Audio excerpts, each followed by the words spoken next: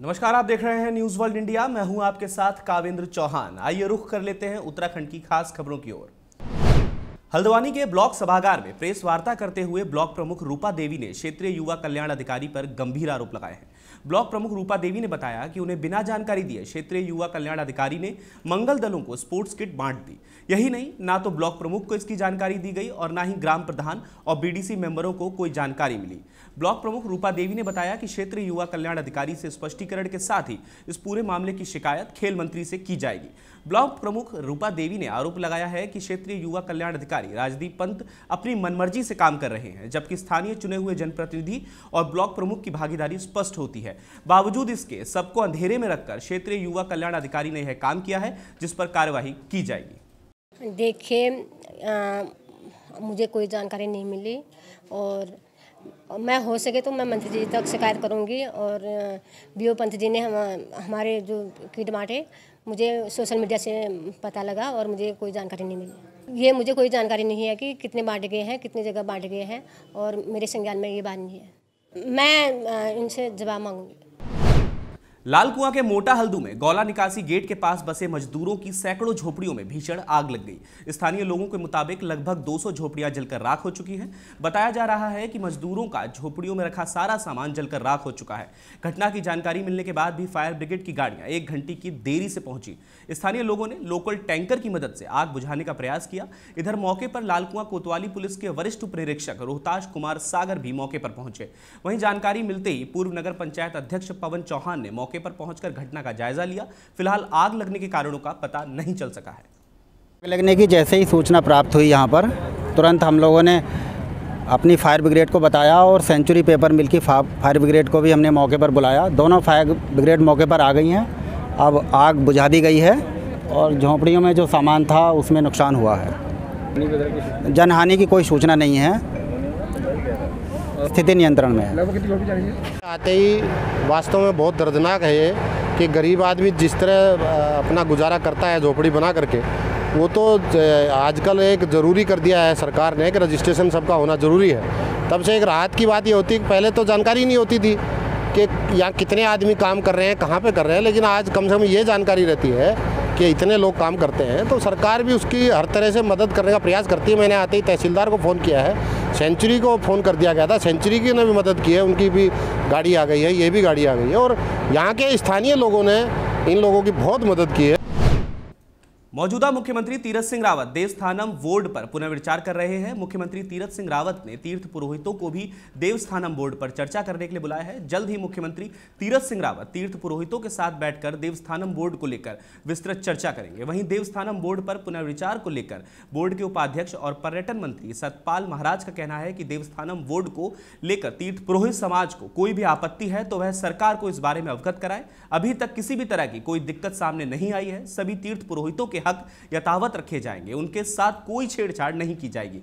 पर्यटन मंत्री ने कहा कि केदारनाथ और बद्रीनाथ में तीर्थ पुरोहितों के हकों को सुरक्षित रखा गया इसी तरह गंगोत्री और यमुनोत्री के तीर्थ पुरोहितों के हक भी सुरक्षित रखे जाएँगे। नहीं, मैं आपको बता दूँ, आपको बता दूँ, मेरा सभी तीर्थ पुरोहितों से बड़ा नम्र निवेदन है कि जो भी जिसकी आपत्ति हो, हमने बार बार ये कहा है कि जिसकी जो आपत्ति हो, जिसको कोई उसमें संशय हो, वो क्लेरिफिकेशन करा दे और हमको बताए हमारे पास कोई भी सूचना ऐसी मिली नहीं है कि किसी को क्या कमी है, क्योंकि उसमें सारे तीर्थ पुरोहितों के हक, हकूक, दस्तूर सब विद्यमान हैं। हमने कोई चीज़ में परिवर्तन नहीं किया है, और मैं समझता हूँ कि सरकार का जब कमिटमेंट होता है तो वो और भी उसमें सुरक्षित हैं। इसी प्रकार से हमने केदारनाथ, बद्रीनाथ के अंदर जो तीर्थ पुरोहित हैं, उनके, जो भी उनके हक, हकूक थे, उनको हमने सुरक्षित किया है, और हमारा ये पूरा पूरा आश्वासन है, और ये वायदा है कि यमुनोत्री और गंगोत्री के भी हमारे जो तीर्थ पुरोहित हैं, उनके जो भी हक हकूक हैं दस्तूर हैं, उनको सुरक्षित रखा जाएगा। सरकार में मुख्यमंत्री का चेहरा बदलते ही कई फैसलों में भी बड़े बदलाव दिखाई दे रहे हैं। पिछले कुछ दिनों में पूर्व की त्रिवेंद्र सिंह रावत सरकार के कई फैसले वर्तमान की तीरथ सिंह रावत सरकार ने बदल दिए हैं। ऐसे में गुरुवार को हुई कैबिनेट बैठक में भी कोटद्वार मेडिकल कॉलेज का मामला सामने आया, जिसके लिए नए मुख्यमंत्री ने डीपीआर बनाने के निर्देश कर एक करोड़ रुपए स्वीकृत किए हैं। आपको बताते चले, पिछली त्रिवेंद्र सिंह रावत सरकार में इसी मेडिकल कॉलेज के लिए हरक सिंह रावत ने श्रम संविदा बोर्ड से बीस करोड़ रुपए कार्यदायी संस्था को मेडिकल कॉलेज निर्माण के लिए दिए थे, लेकिन तब त्रिवेंद्र सिंह रावत के तेवरों के चलते कार्यदायी संस्था से पूरे के पूरे 20 करोड़ रुपए वापस ले लिए गए और इस मामले में जाँच भी बैठा दी गई।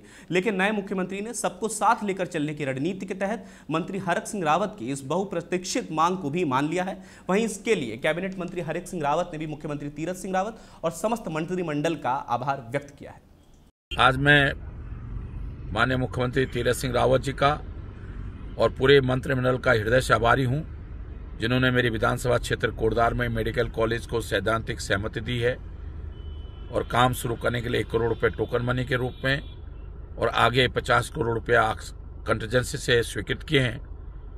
ये पूरे पौड़ी जनपद और बिजनौर जनपद के लिए स्वास्थ्य सुविधाओं के दृष्टिकोण से एक ऐतिहासिक निर्णय है और इसके लिए मैं माननीय मोदी जी अमित शाह जी, भारत सरकार का भी बहुत हृदय से आभारी हूँ कि मान्य नड्डा जी का बहुत हृदय से आभारी हूँ।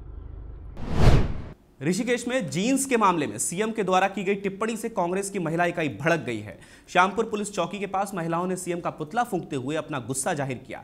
इस दौरान सीएम के खिलाफ महिलाओं ने नारेबाजी करते हुए प्रदर्शन भी किया है। महिलाओं का कहना है कि एक और, सरकार बेटी बचाओ, बेटी पढ़ाओ का नारा दे रही है। वहीं दूसरी ओर, सरकार के मुखिया बहु बेटियों को जीन्स पहनने को लेकर टिप्पणी कर अपनी मानसिकता का परिचय दे रहे हैं। महिलाओं ने मामले में सीएम से माफ़ी मांगने की मांग की है। चेतावनी दी। यदि सीएम ने माफ़ी नहीं मांगी तो महिलाएँ उग्र आंदोलन के लिए बाध्य होंगी। जहाँ हमें विकास की बात करनी चाहिए थी, जहाँ हमें रोज़गार की बात करनी चाहिए थी, हमें ये, हमने ये सोचा था, पुराना मुख्यमंत्री हटाया तो नया क्लेवर में कुछ अच्छा बुद्धिमान, बुद्धिजीवी मुख्यमंत्री लाया होगा। लेकिन जब इन मुख्यमंत्री जी की बात हम सुनते हैं, बड़ी शर्म की बात होती है कि मुख्यमंत्री जी जिस तरीके से व्याख्यान करते हैं कि मैं फ़्लाइट में गया, एक बहन जी बैठी थी, उसके गम बूट पहने थे, गम बूट के बाद वो घुटनों पे गए और इस तरह के उनके जो व्याख्यान थे, अपने आप में शर्मनाक थे। मैं तो मोदी जी से कहूँगा कि ऐसे मुख्यमंत्री को बनाने से अच्छा है कि आप कोई बढ़िया मुख्यमंत्री को यहाँ पर भेजते ताकि वो विकास की बात करता। जो मुख्यमंत्री जी आए हैं, उनका पुतला दहन करने हम लोग आए हैं। एक तरफ़ इक्कीसवीं सदी में महिलाओं की बात करते हैं। क्या साड़ी या सूट पहन के हवाई जहाज़ उड़ाए जाएँगे अब? हमारे कपड़ों पर टिप्पणी करने से पहले ये सोच लें, हमारे कपड़े नहीं, हमारी जीन्स फटी हुई नहीं है, इनकी सोच फटी हुई है। ये पहले सोचे कि ये क्या बोल रहे हैं। महिलाओं के कपड़ों के बारे में टिप्पणी करने से अच्छा पहले जो किसान हैं, जो देश के हालात हैं, जो अपने राज्य के हालात हैं, उन पर गौर करेंगे। ना कि महिलाओं के घुटने देखें, ना उनके गम्बूट देखें। उत्तराखंड की पशुपालन एवं दुग्ध विकास मंत्री रेखा आर्या की अध्यक्षता में देहरादून विधानसभा में बैठक हुई। बैठक में डेयरी एवं दुग्ध विकास विभाग की समीक्षा की गई।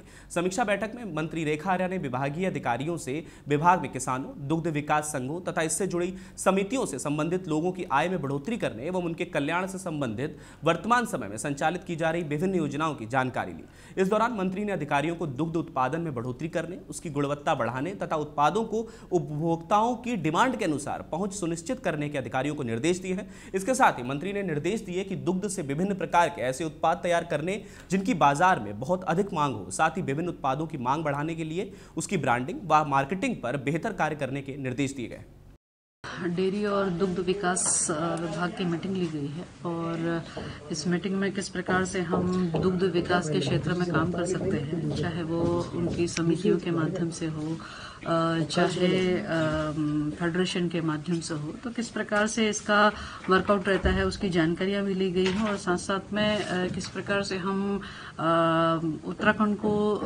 दुग्ध उत्पादन में हम आत्मनिर्भर बना सकते हैं, उस दिशा में भी जो है काफ़ी चर्चाएँ की गई हैं। आने वाले समय में हम दूध से संबंधित काफ़ी सारे प्रोडक्ट जो है वो मार्केट में लाने वाले हैं। चाहे वो पहाड़ी घी के संदर्भ में हो, चाहे वो बद्री घी के संदर्भ में हो चाहे वो अन्य दूध से संबंधित प्रोडक्ट चीज़ के संदर्भ में हो तो ऐसे प्रोडक्ट जो है यूनिक प्रोडक्ट जो है वो मार्केट में आने वाले हैं। निश्चित रूप से इससे हमारी जो समितियाँ हैं, जो फेडरेशन है, उसको लाभ मिलेगा। और साथ साथ में जो हमारे बेरोजगार भाई बहन हैं, उनको इससे बहुत अच्छा रोज़गार जो है वो मिलने जाएगा। तो फ़िलहाल के लिए इस बुलेटिन में इतना ही। देश और दुनिया की तमाम बड़ी खबरों के लिए आप बने रहिएगा न्यूज़ वर्ल्ड इंडिया के साथ। धन्यवाद।